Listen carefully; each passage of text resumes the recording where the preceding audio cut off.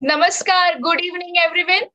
Welcome to the finale lecture of this Earth Science Week, where we have embraced on incredible journey celebrating our planet through the captivating world of philately, which is actually a groundbreaking event jointly organized by four prominent institutions Maharashtra Vriksha Samvardhini Pune, the Applied Geology Program at the School of Earth, Ocean and Atmospheric Science, Goa University, Panji, the Department of Geology at St. Xavier's College, Mumbai, and the Department of Geology at the Government Institute of Science, Aurangabad. All the sessions can also be viewed on Mission Devrai YouTube channel. Before we start with today's session, let me give you the sequence of the program. First, we'll have introduction of the speaker by Dr. Ajit Vartak. Then we'll have the lecture by today's speaker, Ms. Yogini Atreya, followed by introduction of the concluding speaker by Mr. Mahesh Maikar. Then we'll have concluding remarks by Mr. R. Shankar, followed by vote of thanks by Dr. Ajit Vartak. As we gather for this finale lecture of this remarkable week, which we are about to embark using an archaeological adventure, what we are going to do is we are going to appreciate earth science, education, and culminate our celebration with a tribute to earth through the lens of postage stamps. So I'll request Dr. Ajit Vartak to introduce today's speaker. Thank you. Yogini Atre, she has completed her master's in ancient Indian history, culture and archaeology from Deccan College Postgraduate and Research Institute, Pune.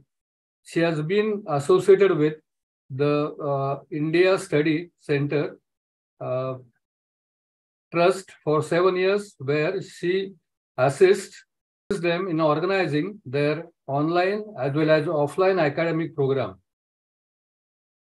heritage walks, and lectures while uh, operating their website, especially the LMS content. She has engaged lectures on topics ranging from epigraphy to ancient Indian board, uh, board games at various levels. Apart from this, she has preserved, she has presented many papers at various conferences at national and international level and has to her credit certificates and uh, diplomas in various vistas of archaeology and epigraphy. Now I request Yogini to start her presentation. Yes, sir. Thank you, sir, for that wonderful introduction. I'm just sharing my screen. So on the onset of this lecture, first of all, I would like to thank Dr. Ajit Vartak for inviting me and having that trust on me that I can do a lecture on uh, archaeology through philately. And uh, before I start, I would just like to give two disclaimers. Uh, the first disclaimer is that um, I am younger than even a newborn baby in the field of philately. I was introduced to this field uh, like doctor by Dr. Vartak um, in this year's January, where he told me that there are some stamps that have inscriptions on them. That's what um, made me interested in this field and it was only through interactions with him from the month of march that i have understood how vast this field is.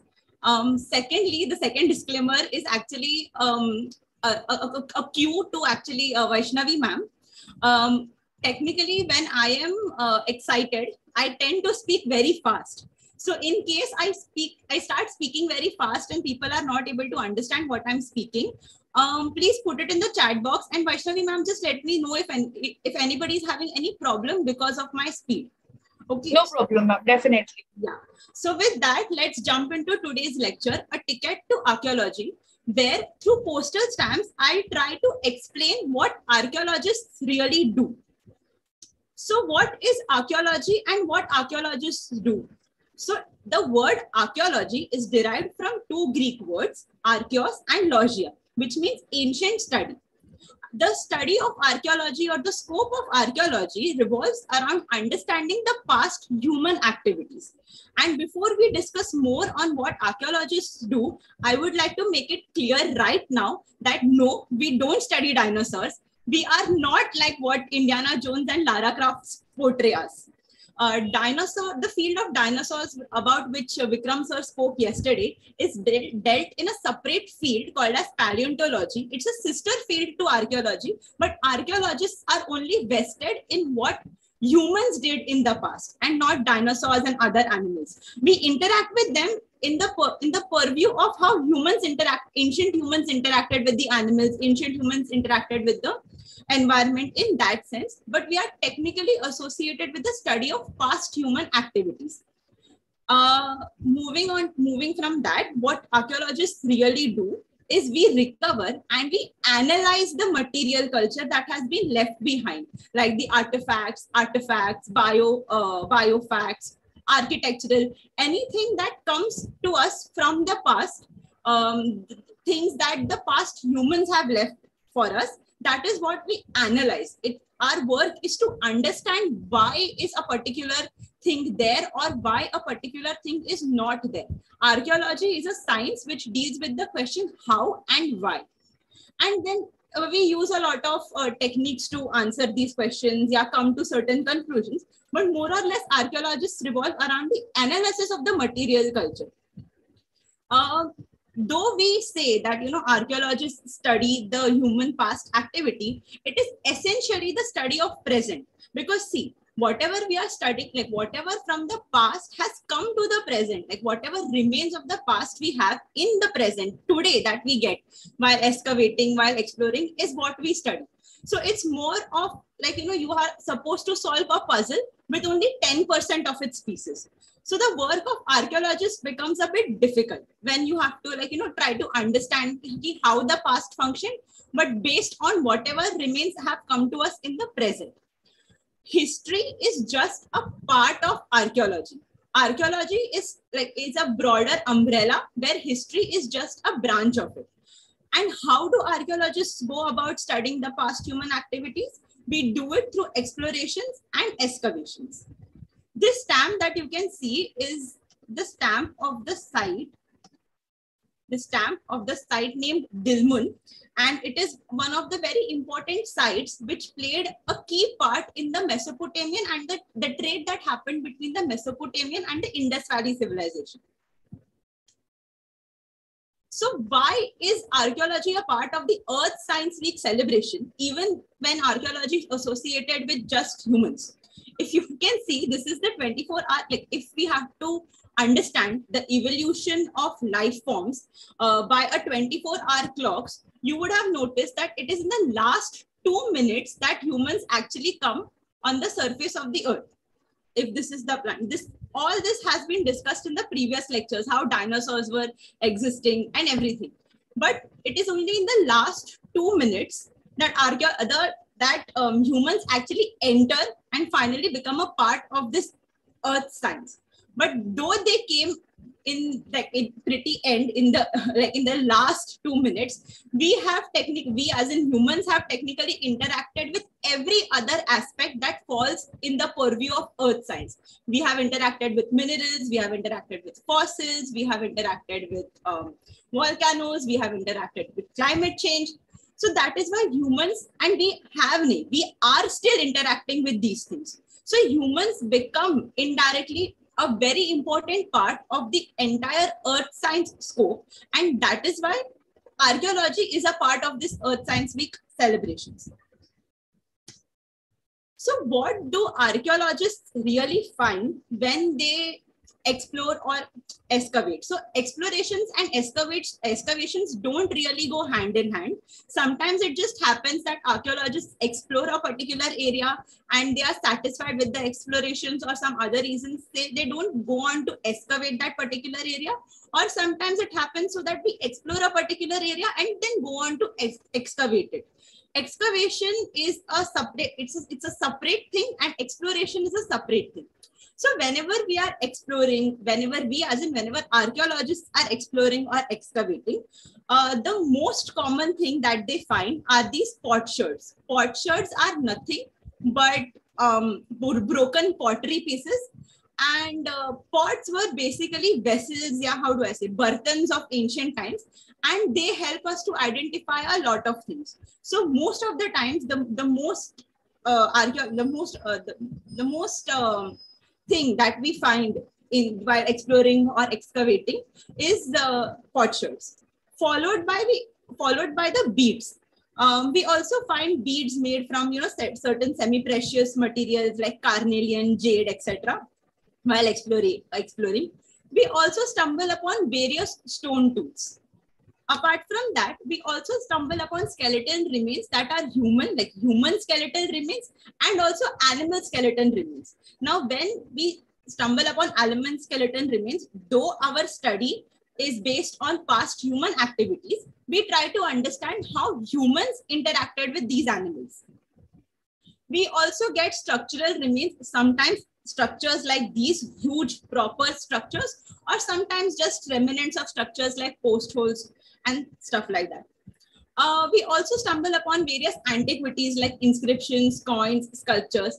And from all of these broken pieces of history, we have to stitch one piece with another to make sense of exactly what happened in the past. Now, I don't remember in which lecture, but I think in the volcanoes lecture or in the climate change lecture, sir was saying that um, geologists always talk in the years of, you know, million years ago, yeah, thousand million years ago, something in that sense. So um, when we talk about geology, geologists usually talk, talk in the terms of epochs and eons. Archaeologists talk in the sense of eras and years. So when we I, I think most of us here are um, familiar with the geological time scale. So every field has its own time scale. So how we have geological time scale, in the similar way, we have something called as the archaeological time scale, the way archaeologists um, try to understand the past. So in archaeological time scale, the first period of study is the prehistory period. Now, prehistory is that period where there was there is no evidence of writing writing did not exist. But that does not mean that language did not exist. It's just that we don't have written evidences of any sort. It is in this phase that the entire evolution of the human species happened, right from its ancestral uh, ancestors like Australopithecus afarensis to today's Homo sapiens sapiens. This is the time period when this evolution was happening. And archaeologists don't study this evolution only in the sense of physical, you know, what kind of physical changes were there, but we also try to understand how mentally we evolved from our previous ancestors to how we are today. And this phase is broadly subcategorized into Paleolithic, which is Old Stone Age, Mesolithic, Middle Stone Age, and Neolithic, that is New Stone Age. Now, one thing uh, which all of us have to understand here is the time period of these phases keep on changing according to the area. So the Paleolithic time period for India would be different than the Paleolithic time period for Africa, than the Paleolithic time period for um, Europe, America, Japan, Southeast Asia. So it keeps on changing. But what you have to remember is the earliest evidence of human fossils that archaeologists have ever found comes from Africa. This particular stamp that you can see is of Olduvai Gorge, the birthplace of, um, if I would say, human, the, the human species. Uh, the mention of Olduvai Gorge has, has happened for quite some times in the previous um, sessions. So for those who don't know what Olduvai Gorge is, Olduvai Gorge is a place in um, Tanzania which yields all the um, skeletons of ancestral humans. The so and it's like the birthplace of where it's called the cradle of human civilization. Uh, so at Olduvai Gorge, we have found various um, examples of ancient skeletons. One of them being this part of this particular individual. This particular individual, as you can see on the stamp, is uh, the skeleton. It belongs to a particular species called as Australopithecus afarensis. Now, uh, though today we call ourselves as Homo sapiens, uh, Homo species as such came a bit later on. The ancestral species to Homo species were Australopithecus, the species of Australopithecus. And of that, this particular species plays a very important role. Uh, this particular stamp, as you can see, has been um, released in the year 2020, shows the skull of how an Australopithecus afarensis would have looked. And this is after doing a 3D imagery. This is how our ancestors would have looked at that time when they were existing. Now coming to this particular stamp, there's a very interesting story to it. Can you see there's a skeleton depiction of, but it's not like entire skeletal body is not seen, but there are some uh, parts of arms, of some parts of legs, the pelvis region is seen, some part of skulls. So this particular skeletal remains is of a person called as Lucy. Uh, how did we name her Lucy? Is because uh, there was this one person called as uh, Donald um, Donald Johanson, who was um, exploring the regions of um, like regions of um, Ethiopia. So what was happening in early 1950s, early 1970s, the entire African strip was being explored by various paleoanthropologists and uh, geologists and archaeologists to understand how humans evolved. Uh, while Mary Leakey and Louis Leakey were, so you already know, like from the fossils lecture, and even in yesterday's lecture, Vakil sir mentioned about uh, Mary Leakey and Louis Leakey. So these guys, they were exploring the regions of Tanzania and Kenya. There was another set of duo, that is uh, Donald Johanson and Coppens, who were exploring the regions of Ethiopia. And one fine day, they while they were exploring a region which was already explored and nobody had found anything there, they stumbled upon a skull bone. And uh, while when like when this when when when when you are exploring and you suddenly stumble upon a skull bone, you you try to like you know look around for different um, things in and around there. So while they were looking, they realized that it is not just a random skull bone, but an entire um, intact skeleton that was lying in front of them. So what they did is they marked that area and came back the next day to properly systematically excavate it. And once they excavated it properly, this is what came out of it. And that day they were very happy because in Ethiopia, this was like the first kind of discovery that was happening, like an, an almost entire um, skeletal remain of a human they had found. Moreover, they could identify it that it is a skeletal of a female um, female ancestor because of the because they could find half of the bone of the pelvis region. Uh, there are various markers through which archaeologists try to understand uh, what whose skeleton it could have been, whether it could have been a male skeleton or a female skeleton, skeleton of an adult or a young young child. You know, there are various markers to it. So they understood that this is a skeletal remain and of an ancient uh, human who is a female. And uh, in the evenings, like this, so this happened around about like uh, in the afternoonish time. And in the evening, what happens is whenever you are on excavations, the evening times are pretty chill. So everybody in the group sits together and they kind of talk to each other, and then there are songs that are getting played in the background and etc. That particular evening, when they found this uh, sculpture, the song that was being played repeatedly in the camp was Lucy in the Sky of Diamonds by Beatles. And that's how one of the members in the team said, This is our Lucy. From that time, this particular sculpture, uh, so not sculpture, this particular skeleton is named as Lucy, and we always call her Lucy, the Australopithecus afarensis. There were other human ancestors to Homo sapiens those were uh, Paranthropus boisei. This is how he would look. Uh, Paranthropus boisei today is called as Australopithecus boisei, and there are a lot of um, the reason there are a lot of reasons to why the name was changed. The first Homo ancestor of Homo sapiens is Homo habilis, and we also call him the handyman because it is during his time that we come to know uh, that humans actually started using it, started making stone tools.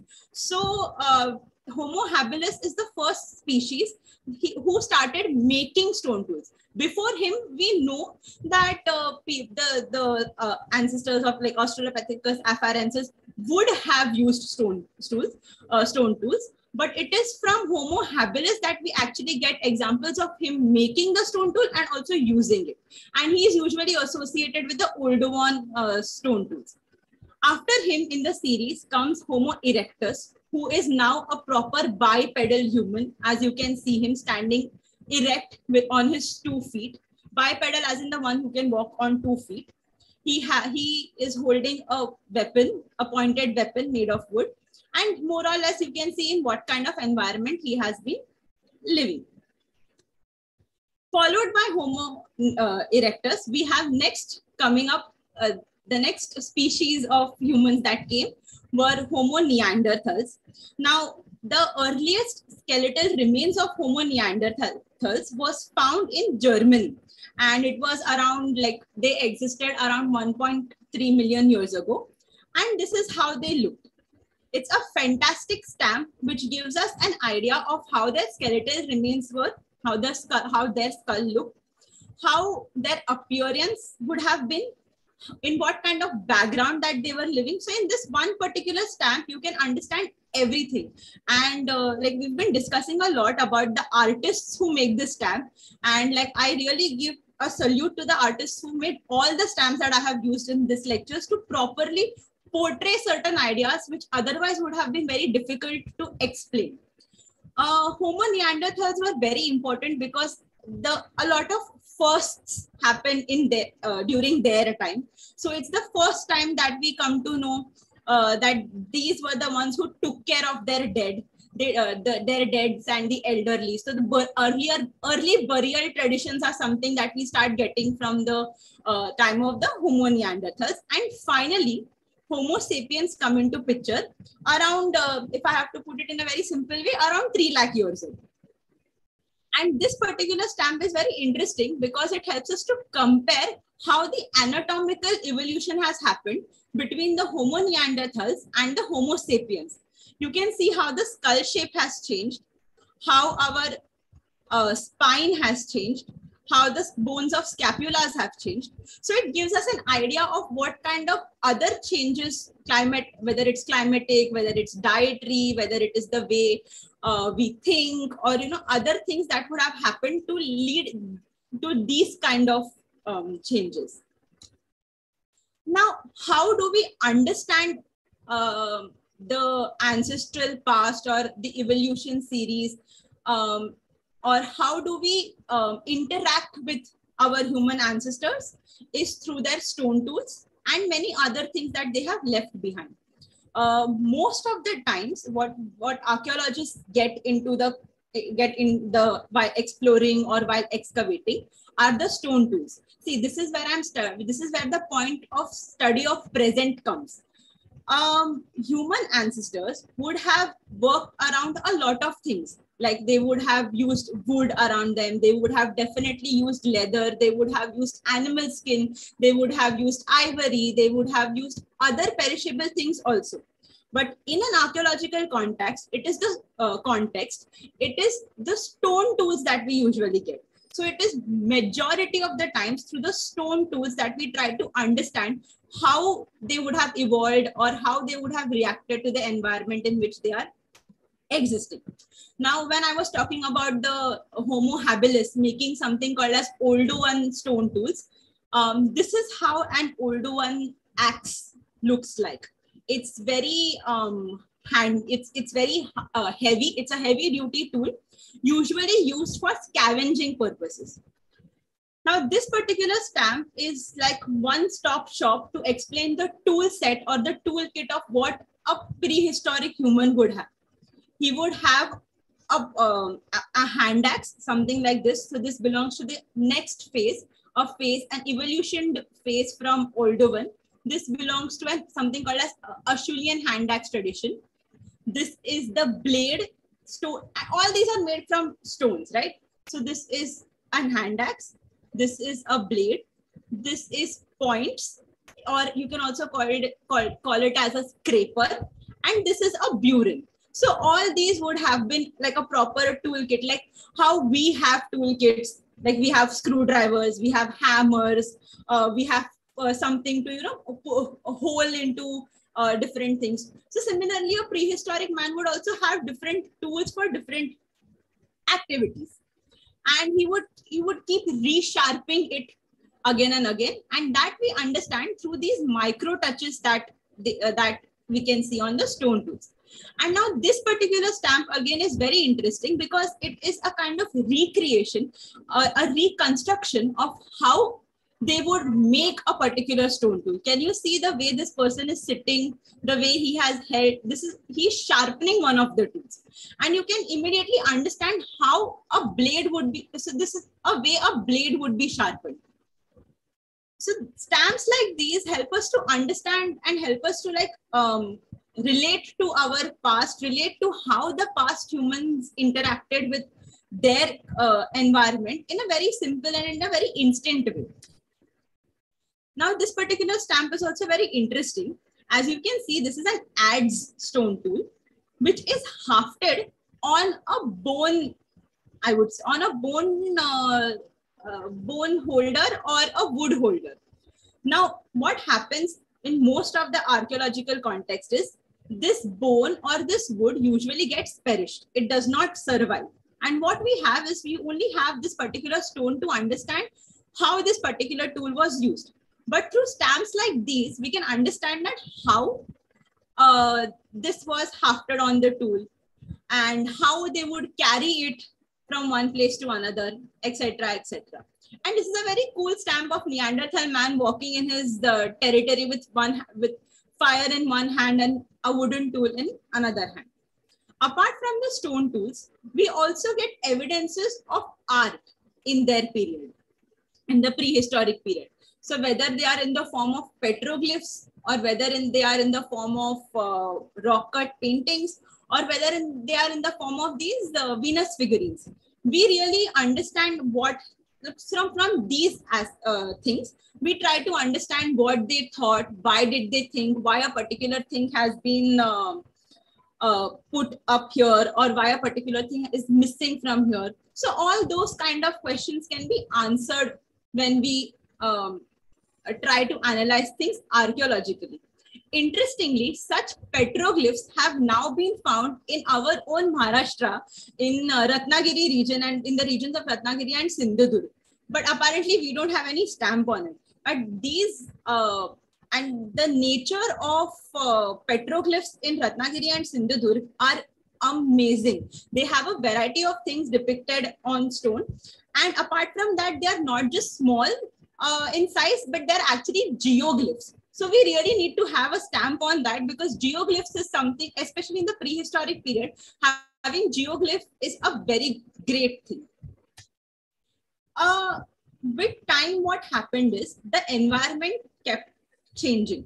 So when we say, you know, uh, the, the prehistoric man used stone tools, the prehistoric man used scraper, that overall um, climate was different during that time. And uh, as I was saying that what uh, the geologists speak in the terms of eons and epochs, there is there was this one uh, transition that was happening from a Pleistocene epoch to Holocene epoch, where the global temperature scenarios were changing.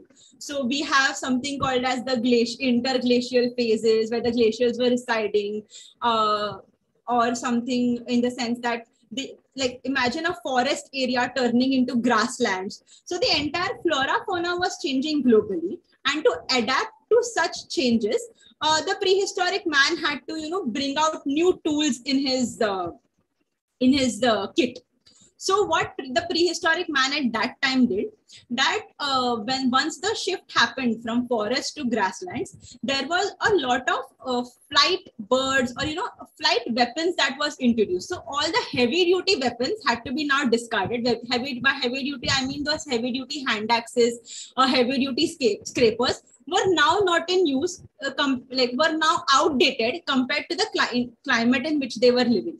So they had a lot of uh, hand ballistic weapons like these harpoons or you know atlatl like which they could throw from from one place to another.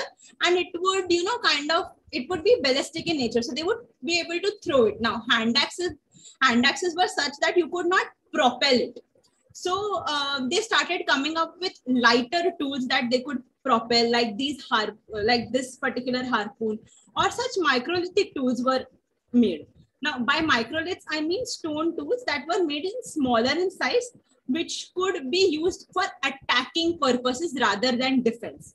And we also get evidences of such fish traps uh, from the Mesolithic age. The Neolithic age, which is a part of, again, the prehistory uh, tradition, um, is the age from where we start getting the evidences of agriculture. That's the first time pottery is invented because now you need something to store right? Because agriculture is all about surplus. Today you cultivate but the produce that you cultivate today you don't consume it in like a day or two. You keep it over the months so how will you keep it um, so where will you keep it all that problems was addressed by ancient humans and we start uh, we start seeing the coming up of pottery. So first it was just handmade pottery like this. Then we saw wheel-made potteries coming up. And like that man tried to um, ease his life even then. And we also start understanding how philosophies, how religion, how abstract ideas were depicted through different things. So this is an amulet coming from the Neolithic age from China. And this in this particular stamp, you can see a man trying to, you know, understand whether this area is okay to um, sow seeds or not.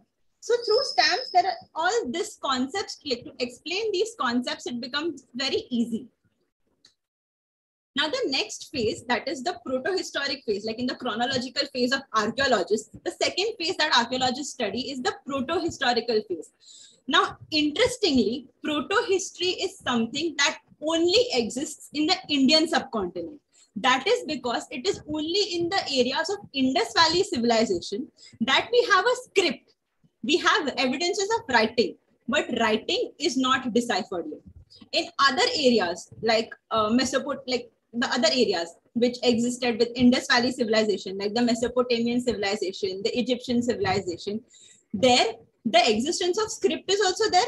Plus, now we can understand why this, what particular thing is written, like what the seals say or what the writings say. So proto so they now that becomes a part of their history.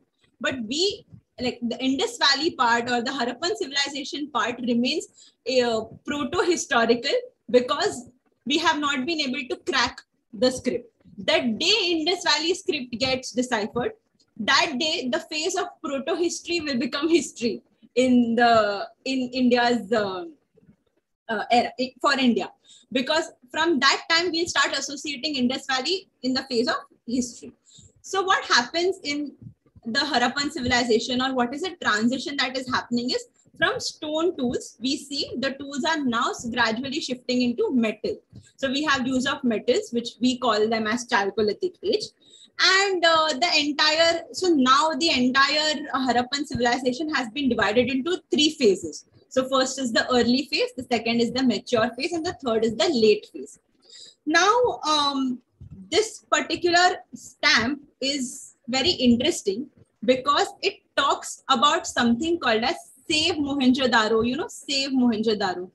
So what was happening is that in Pakistan, they had created a dam near Sukkur in uh, 1932s, uh, nine, around about, yeah, in 1930s. There, what was happening is they uh, the like the construction of dam led to increase of water in the Indus River, which was threatening the site of Mohenjo-Daro. So various countries like um, Oman and Mauritius, like various countries released stamp in order to, uh, you know, support the movement of Pakistani archaeologists of, you know, saving the sites of Mohenjo-Daro, saving the sites of Harappa. So this is why the stamps were released. And finally, the dam, the this, this particular site got protection and the entire flow was diverted. Otherwise, this site would have now been corroded un under the salt that Indus River would bring with it. Now, these are the various ring wells which existed in the time of um, the like in the time of Harappan civilization at Mohenjo-Daro, and that is how they managed to get their water supplies. Uh, it is very interesting because this stamp was released on the 50th anniversary of the excavations at Mohenjo-Daro. This is a very interesting stamp as it portrays a seal on it found at Kalibangan. And uh, as you can see here, the animal is drinking water from the turf. This particular stamp has already been discussed by Nicole ma'am when she was talking about oceanography and how ancient uh, people would uh, travel using or trade using oceans. And this is the terracotta steel, uh, seal, which tells us about that, uh, that particular boat which existed during the times of mature, during the mature phase of the Harappan civilization. From this stamp, we come to know what kind of uh, costumes these people were um, wearing and how they would interact with each other. And uh, this particular photo is quite interesting because um, in, as a part of our Harappan celebrations, uh, there was a celebrations with Instru Instrucent Trust did termed as 100 at Harappa because 100 years had passed since the discovery of Harappa in 2021. We released a series of, of um, magnets in the shape of postal stamps. And this particular lady that you can see is the famous dancing girl statue. The next period of from uh, the Chalcolithic age, we move on to megalithic period, which is the megalithic, which actually translates into the big boulders. So it's the period of big boulders. Here again, we have writing, we have graffiti marks in the way of uh, on, on potsherds, but again, we are not able to understand what those really what those marks really tell us. So again, this more or less comes under the uh, the umbrella of proto history, but it's a separate period called as the megalithic period, and it is usually associated with burial traditions. And uh, South India is like yielding a lot of evidences of such traditions. South India, as in uh, good, uh, nah, uh, Karnataka, Tamil Nadu, all uh, Andhra Pradesh, Kerala, even the southern part of Maharashtra is yielding a lot of uh, such megalithic burial traditions. Uh, one of the very famous tradition of uh, megaliths is um, erection of such menhirs. So such menhirs are just are huge standing stones that are erected after a death of a person. So in the memory to remember like this a particular person, such huge say single uh, boulders are erected at different parts. We also have something called as dolmens.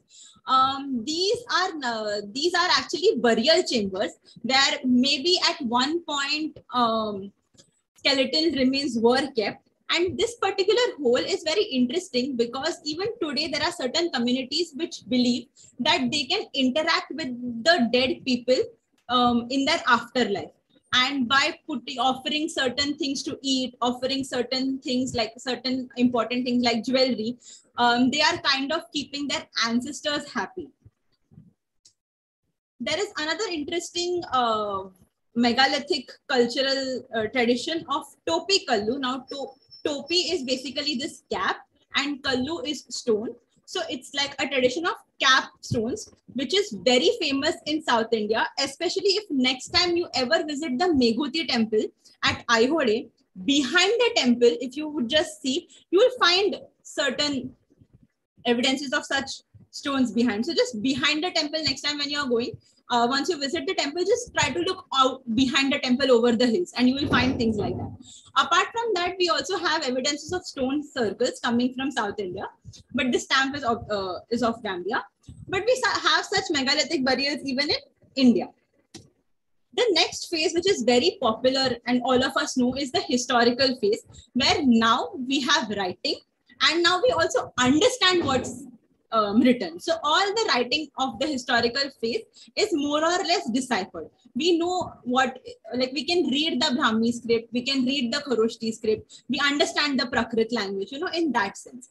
And this is the time when our dynasties start emerging. Like we have the Mauryan period dynasty, we have Kushanas, we have Satavahanas, we have Guptas, we have the Badami Chalukyas, we have Pratiharas, Palas, like everything that starts from the Mauryan period till the coming up of Britishers, everything is a part of history. Even the, as you know, British history comes under the, uh, the uh, umbrella of contemporary history.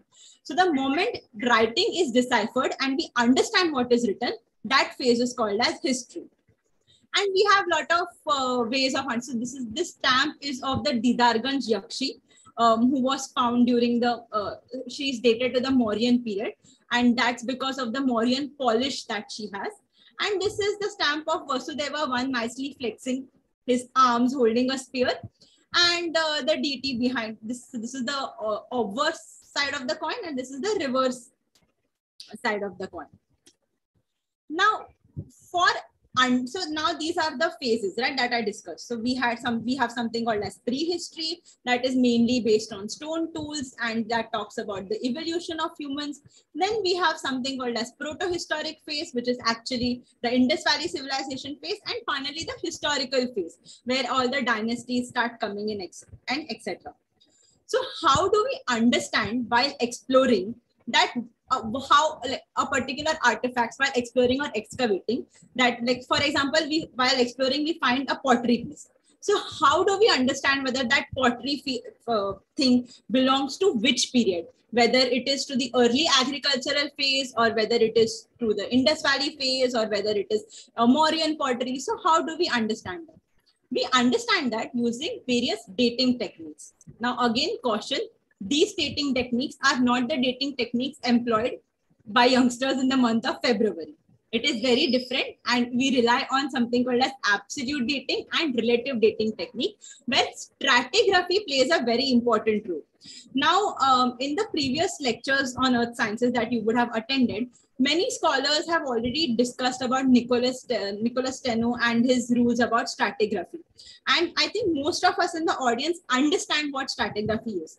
But for those people who don't understand what stratigraphy is or find it difficult to understand, just remember stratigraphy as a piece of cake, as a piece of pastry, as you can see here. Now, when you make pastry or when you eat pastry, you know that it, is, it has a lot of layers and while making pastry, obviously this will be the first layer that the chef would have put. On that would have come a layer of cream, again a cake layer, again a cream layer, and again a cake layer, finally uh, covering it with cream. This is exactly the role stratigraphy plays in. Can you see here? Now compare these layers, uh, the pastry layers with this set of gravels. And you will understand that how layer upon layer, the history gets built and like literally gets compacted over the period of time. And by understanding a particular especially while excavating while understand uh, when we get a particular uh, piece like for example as you can see that this particular gravel belongs to the roman period the roman road this is the roman road gravel. So if i found a find a pottery piece or say for example find a coin piece from here i know that it belongs to the roman period that's how important stratigraphy is in the field of archaeology and in the field of geology. This particular stamp is very interesting because it shows the geological strata at Chile. Um, this stamp is very interesting. So everybody asks me you know are tum log to excavate karte ho. So excavating is like digging. So what is the difference between you guys digging and what is the difference between the bmc people digging? So i always have to start by telling them that there's a lot of difference between the archaeological digs that happened and the bmc tmc digs that happened uh, our digs are not random and only when it is 110% necessary that is only when we you know when we think of excavations otherwise most of the times we are always um, thinking of exploring an area and being content with explorations. But only when we realize that no explorations are not enough we need to excavate that's when we start excavating. Excavating is nothing but the systematic dis, um, like deconstruction of the site. It is a it is actually destruction and but the only uh, thing that we do is we do it very systematically. Our entire area is divided into certain grids. So we take the uh, the uh, according to the cardinal sites. We divide the area under uh, such grids using iron pegs. And like there's a lot of uh, methodology that goes in dividing the area. And section by section grid by grid we start excavating uh, it's a very tedious process. It has to be done very systematically and very methodologically. And uh, no, not anybody who can, you know, who thinks who will get like it's it's it's a very um how do I put it very systematic thing. It's a thing of a lot of responsibilities, and it is something that you have to learn by experience. So yeah, this is more or less how the excavation happens. This is more or less how the archaeologists also look at site. Uh, we are our faces covered, our hands are covered. We are all covered with dust. And this particular uh, postcard is of Pompeii. I remember in the volcanoes lecture, sir mentioning about the Mount Vesuvius volcano's uh, eruption and how the entire site of Pompeii was covered by lava and people did not get time to um, run or save themselves from that lava and the entire city got submerged in the flowing lava and uh, which is actually true because in archaeological excavations we get such bodies. So this is particularly a cast of a body found from the garden at the city of Pompeii. This postcard was released by Italy. And it's not just one, but there are many such things which tell us that, yeah, people did not happen. And Pompeii is like a, like in our archaeological terms, we call it a blessing site because we can construct 95% of history based on what was there. Because thanks to Mount Vesuvius, everything at one point just got statued over there and from that we can really understand how people how the life of people would have been. Now while talking about dating the uh, of all the dating techniques what i would like to talk about is the tree growth ring dating technique which is uh, the dendo which is the uh, dendrochronology technique.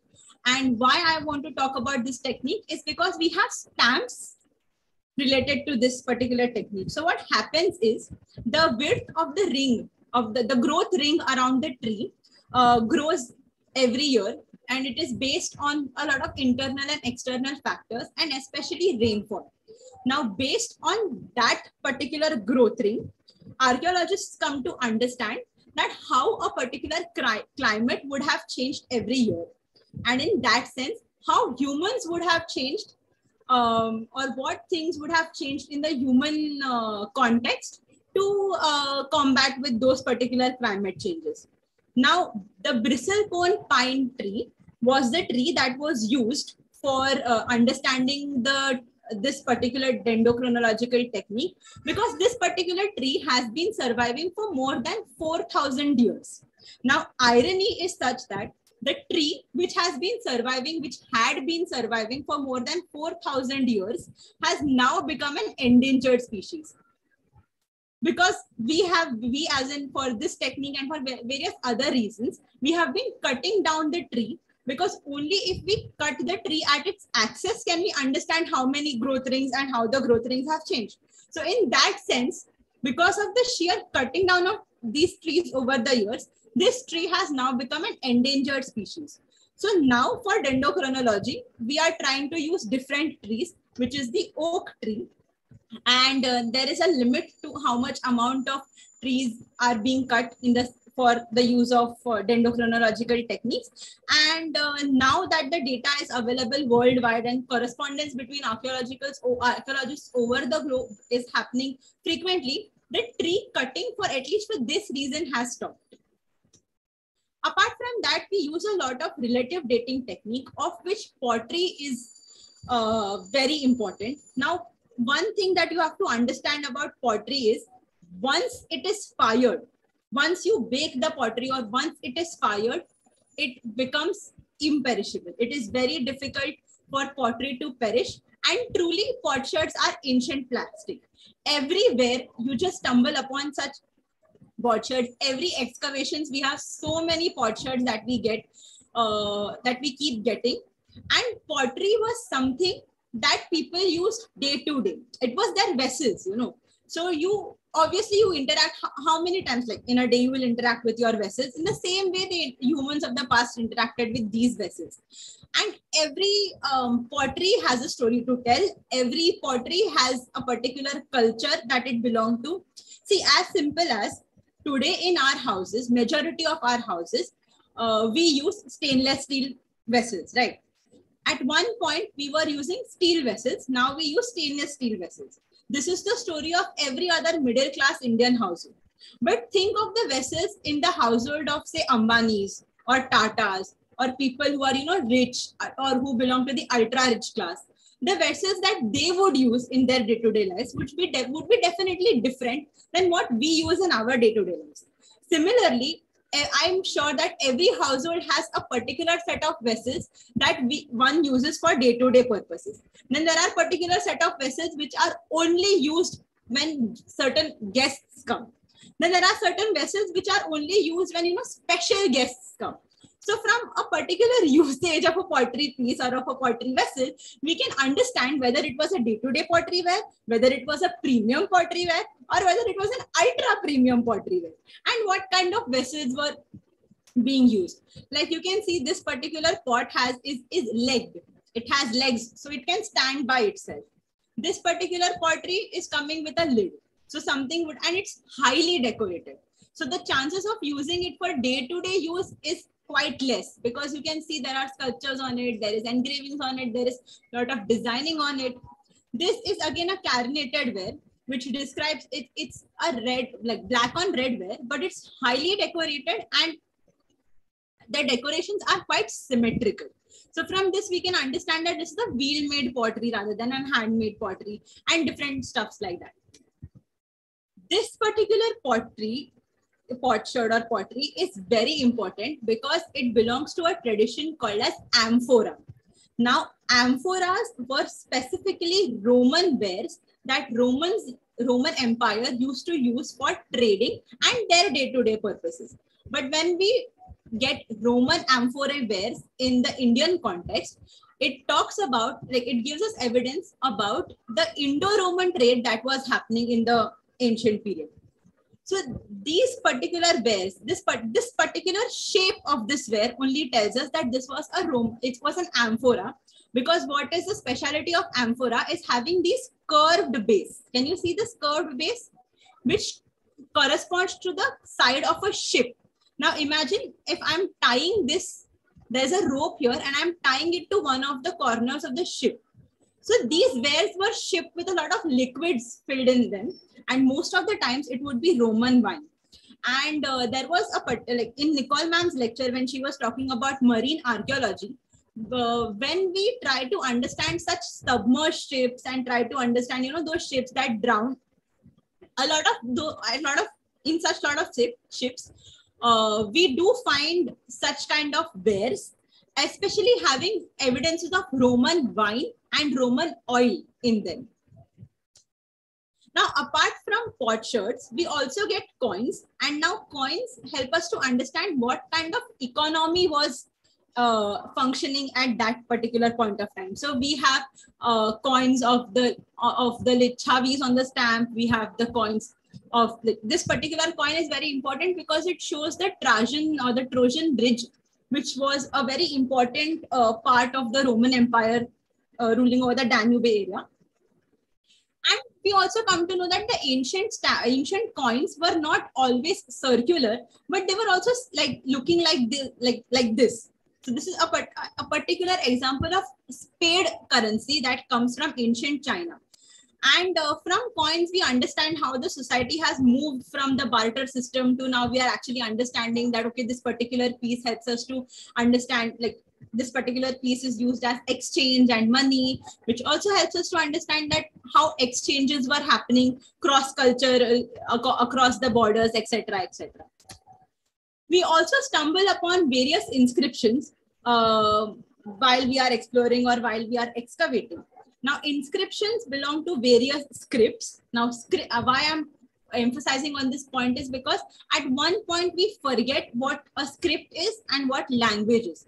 So scripts are essentially what we write and language is essentially what we speak. So right now I'm speaking in English language, but if the same thing I had to write it down, I would write it in the Roman script. And inscriptions have been like an important key to unlock a lot of histories or unlock past in certain ways uh, because they help us to understand what was happening in the society. Uh, this particular stamp was released by Egypt in 2022, which marks the bicentenary of the deciphering of the Rosetta Stone inscription.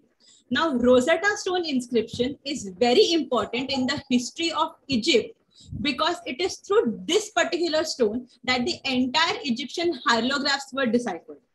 This Rosetta Stone is um, holds inscriptions in three scripts and two languages. The three scripts were Egyptian hieroglyphic script, Egyptian di- uh, the uh, the Egyptian demotic script, and the uh, the Greek script. And the language was Greek language and the Egyptian language. Because people of that time, the, the French explorers of that time could understand Greek language and Greek script in a jiffy, they knew what the stone was telling.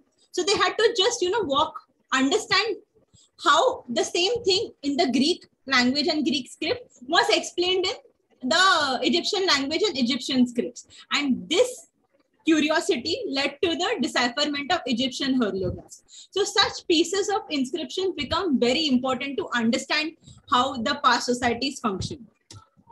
Apart from that, we also get sculptures and icons. Like as you can see, this is a particular terracotta icon, a terracotta sculpture. Uh, but it is not just any random sculpture, but it has also also has a pot on its its head. So it was used. It has a it has a by purpose for uh, its use. Then we have the entire terra sculptures of the terracotta army coming from China, or we have the or sculptures from coming from the Mauryan period. So every sculpture, every icon gives a, a, a hint to the period that it belongs to, gives a hint to the past cultures that it belongs to, and it comes under the purview of iconography and iconology. But archaeologists have to be, uh, you know, ex- not expert, but they need to know what a particular sculpture is telling, what a particular sculpture is trying to tell. Not only sculptures in so stone, but we also have such sculptures. So this is a particular tunic of uh, the Kush of Kushana period. It's a stamp uh, released by Afghanistan uh, depicting the tunic of a sculptures from the Kushana period. Or we have uh, the sculptures like of, you know, this is the Bharhut sculptures uh, kept in the Mathura Museum. And this stamp is also released like uh, by India. Or we have such sculptures of Goddess Saraswati, which we try to understand and make sense of what these particular sculptures are trying to say not only sculptures in stone, but also the sculptures are the icons in paintings. So this stamp depicts a painting from Ajanta caves. Uh, uh, so we try to understand, so we have a range of subjects that we try to understand. Uh, so sculptures also uh, become a part of archaeology and the, the icons painted also becomes an, a part of um, archaeology. This particular postal stamp is of the three-headed Shiva at Elephanta. Uh, this is something which Vakil sir was saying yesterday that how with time our knowledge and nomenclature increases because we know a particular subject better.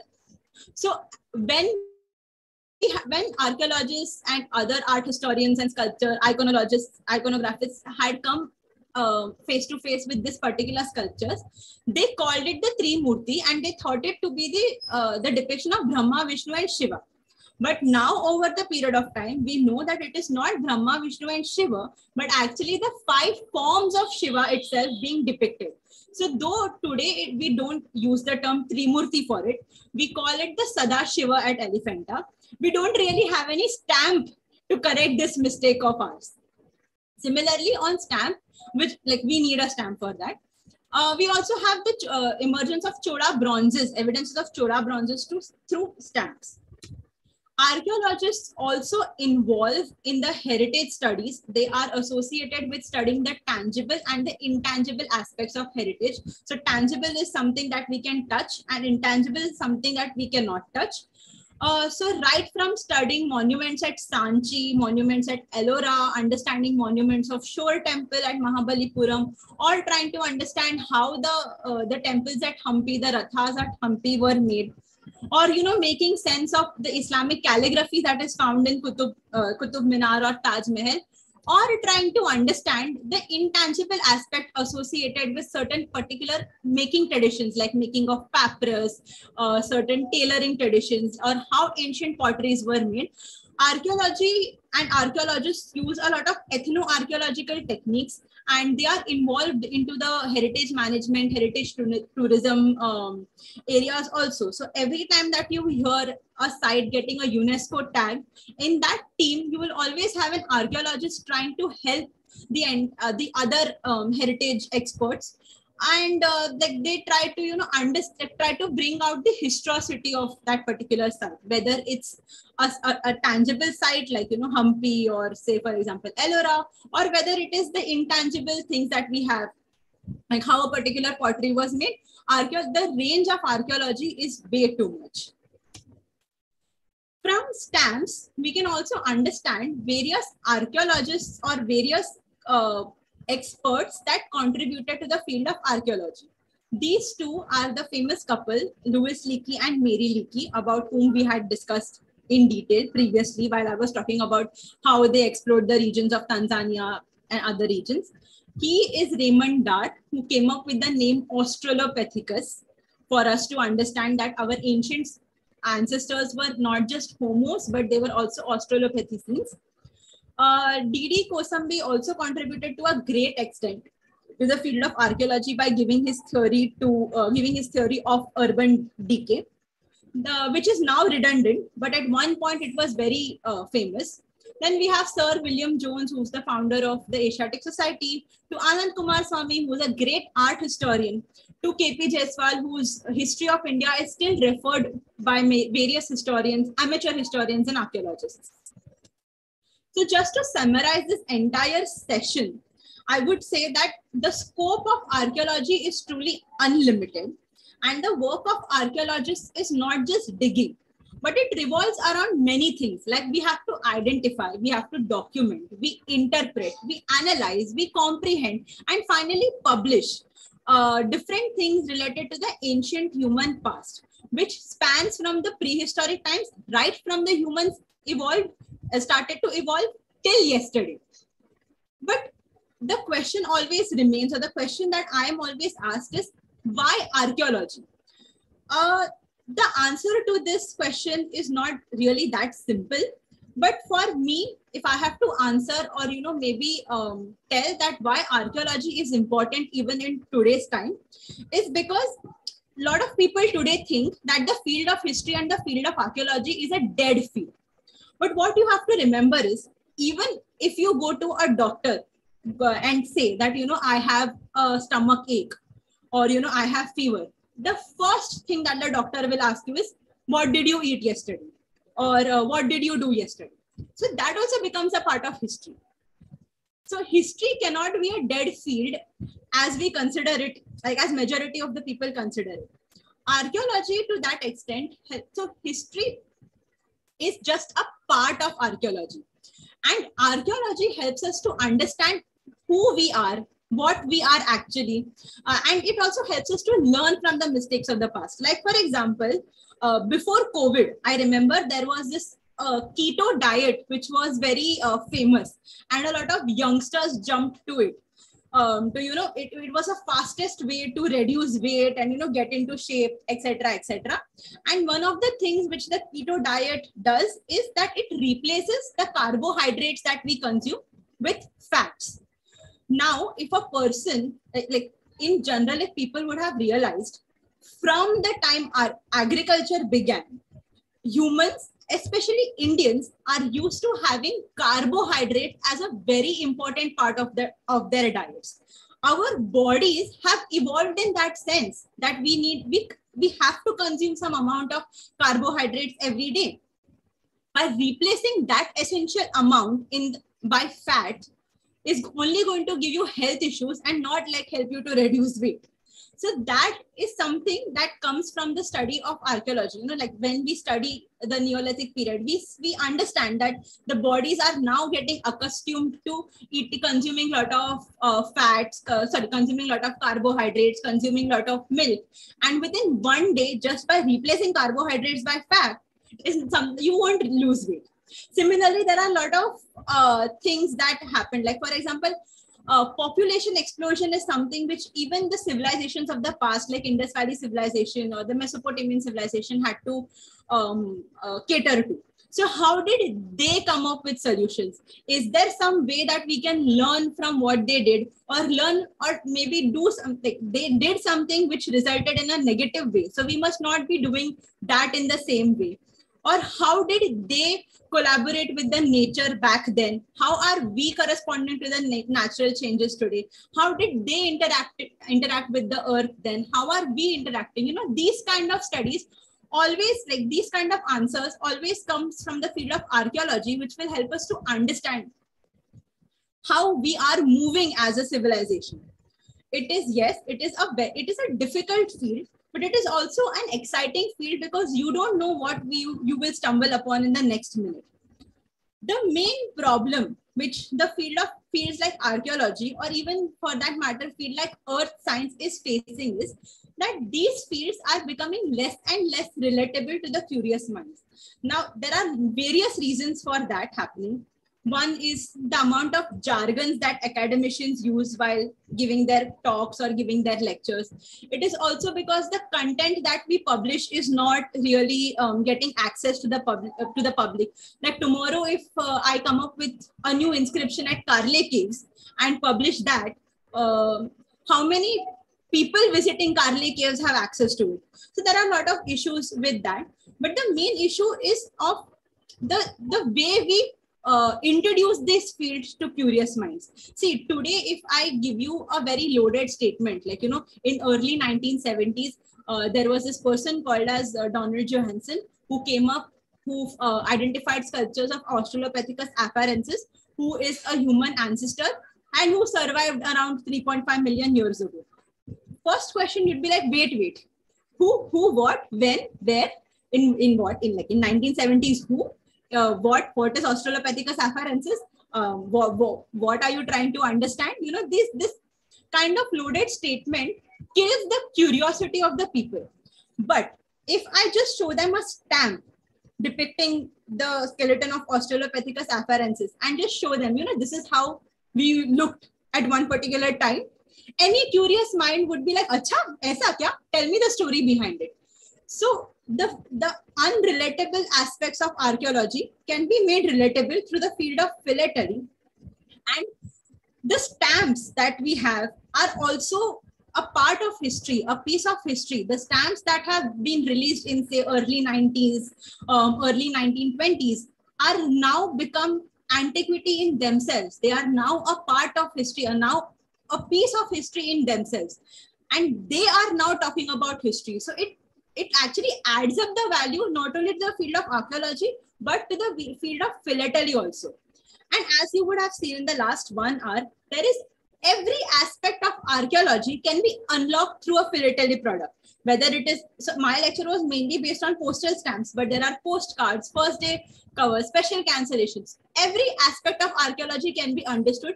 The curiosity of the field of archaeology can be in, increased with the help of a philatelic product and it is only one ticket is what what you need to understand what archaeology truly is. And with that thank you so much and happy earth science week to everybody. Very nice lecture ma'am. We'll wait for people to ask doubts any questions, people, you can please put it in the chat box. Thank you. This is a comment from Sudha ma'am. Yeah, so uh, thank you, Sudha ma'am. And yes, the tradition of uh, to- Topikallu is very famous in South India. And yeah, it's called Kodakallu in um, Kerala. We need more stamps on that. So no questions, it seems. Ajit, sir, you have any questions? No, no, no. So can we proceed further? Yes, yes, please. Thank you so much, Yogini ma'am. It was really very interesting lecture and thank you for sharing your knowledge with us. I thoroughly enjoyed your lecture. Thank you. Now I'll request Mr. Mahesh Mahekar to introduce our concluding speaker for the day. Over to you, Mahesh sir. Thank you, Vaishnavi ma'am. Uh, should we start? Sir has joined? Yes, yes, sir has joined. So it gives me immense I pleasure to introduce. yes, sir. So it gives me immense pleasure to introduce the speaker for his concluding remarks, uh, Dr. R. Shankar. He did his master's and PhD from IIT Bombay. He retired from Mangalore University as a professor in marine geology in 2017. He's a recipient of National Mineral Award from Government of India. Sir C.V. Raman Award from Government of Karnataka, and Young Scientist Award from the Karnataka Association for the Advancement of Science. Dr. Shankar has innate interest in earth science education at the school level and its popularization.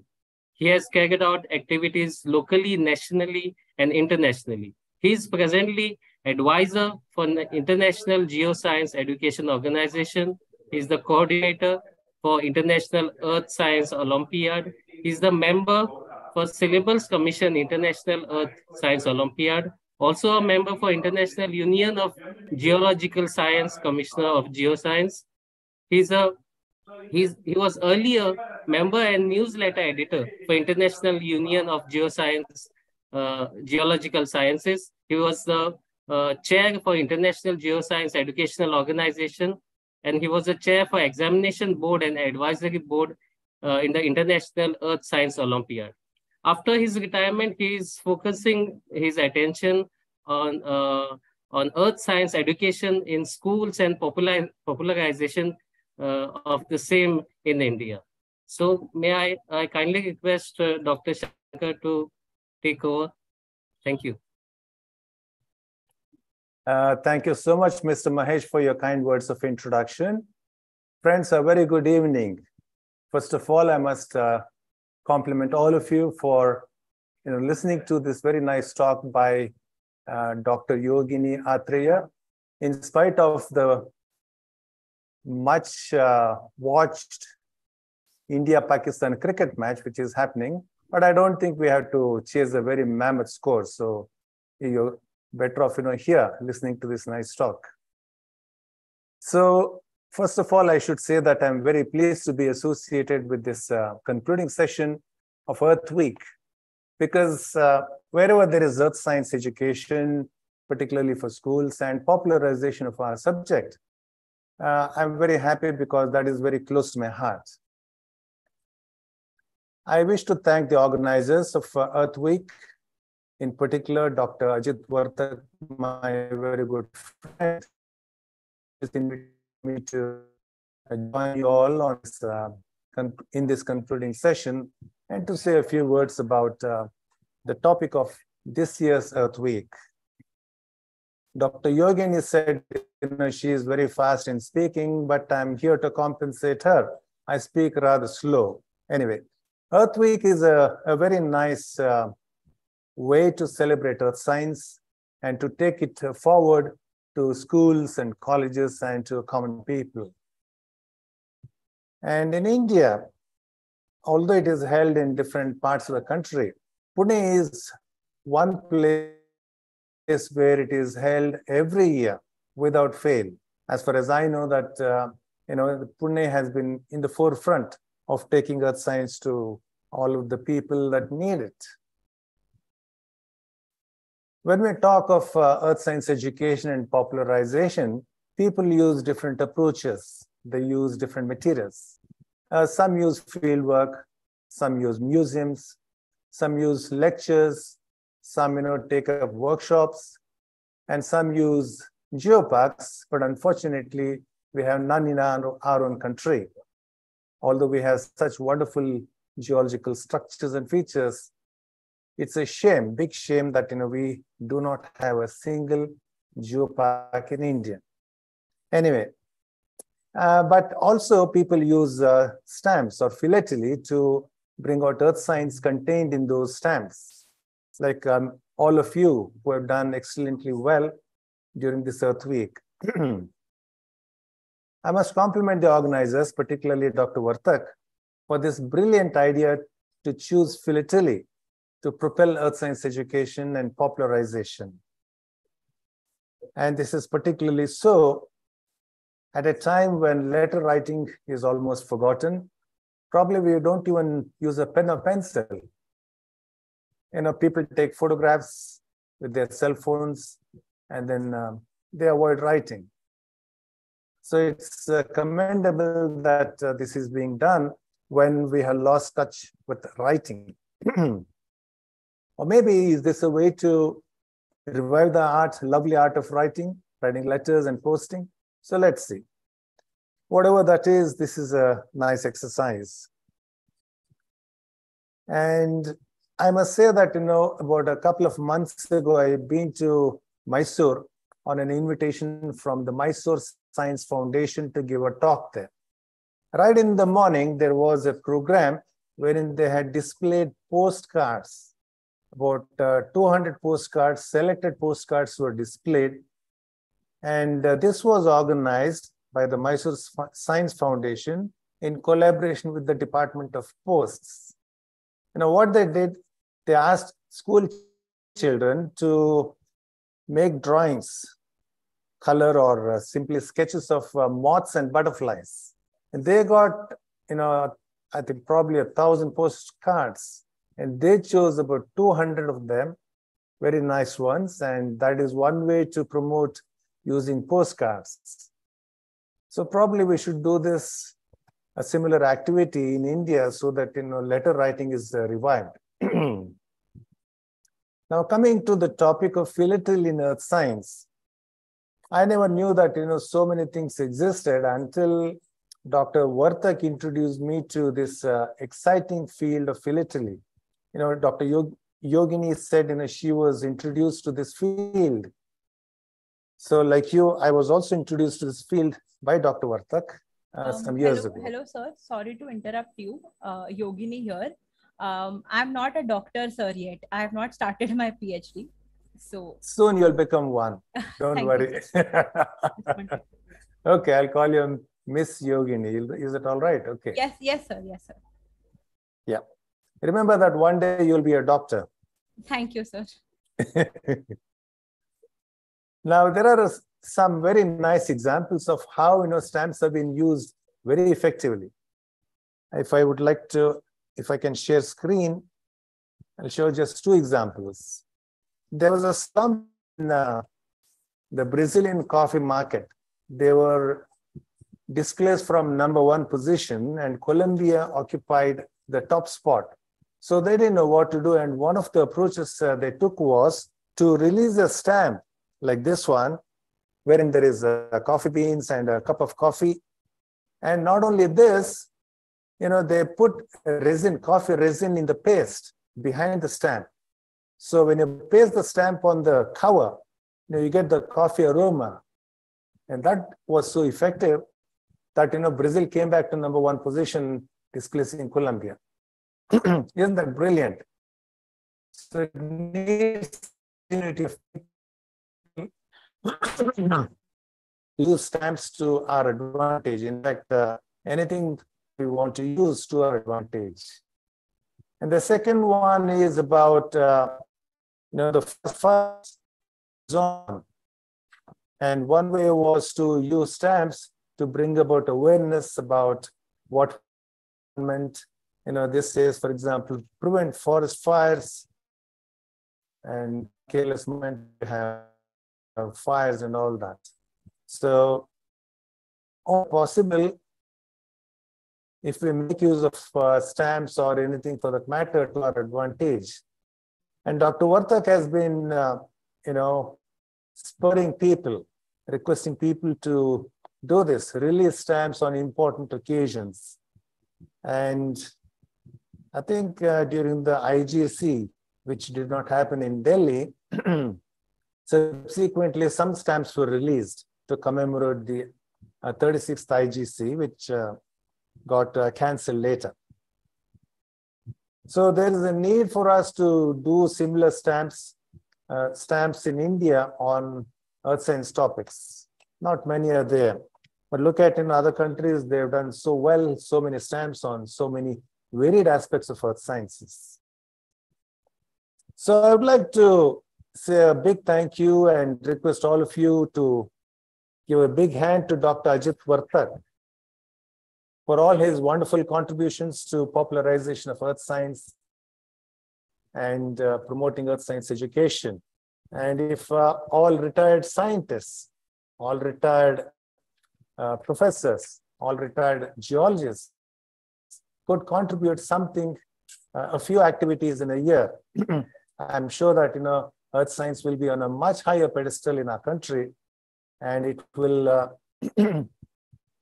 get much better recognition, much better visibility in our society. because it richly deserves all this.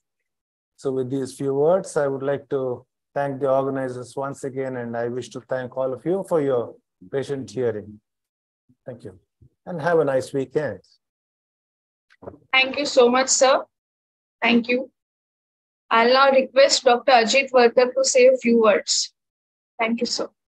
Thank you, Vaishnavi. Uh, on behalf of Maharashtra Vriksha Samvardhani Pune, School of Earth, Ocean and Atmospheric Sciences, Goa University, Department of Geology, St. Xavier's College, Mumbai, and PG Department of Geology, Government Institute of Science, Aurangabad. A big thank you to all who helped during this Earth Science Week 2023 event. I want to express my deepest gratitude to our guest of honor, Professor M.G. Thakkar, Director, Birbal Sahni Institute of Paleosciences, Lucknow, and Professor M.P. Singh, President, Paleontological Society of India, for presiding over the inaugural session of this lecture series. Also, a very special thank to uh, Professor R. Shankar for giving his uh, concluding remarks. All of our guest speakers, It was a pleasure. Dr. Nikhil Sikwer, Dr. Sudha Vadadi, Dr. Ramesh Kumar, Dr. Abhay Mudolkar, Vikram Vakil, and Yogini Atreya deserve special appreciation for their willingness to participate and share their knowledge with us.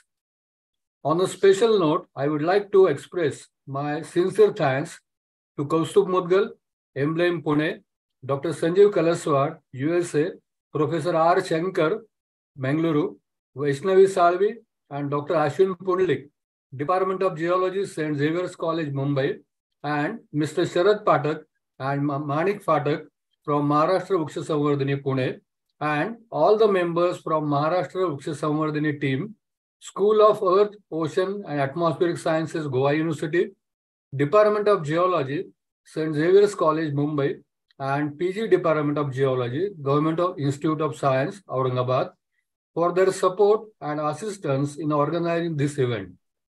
No program can be successful without an audience. In that regard, we have been extremely fortunate with the overwhelming response received. So thank you for participation.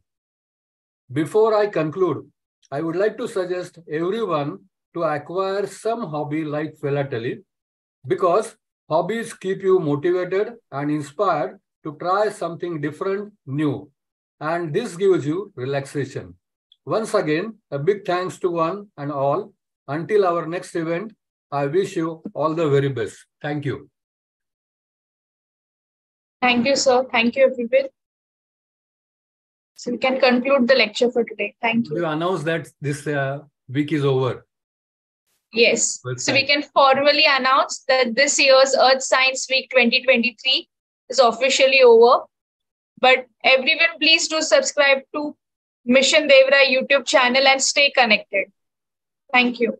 Anyone want to have more information about philately or anything, you can directly contact to us. Our YouTube channel is Mission Devrai at uh, gmail.com. Mission Devrai at gmail.com. You can write to us. Thank you. Thank you, Shankar sir. Ajit Bhai, can I say something? Yeah. although yes. the Earth Week is, although the Earth Week is over, the activities and the spirit should continue throughout the year until we come to the next Earth Week, right? It's not just during the week. So let's do it every month.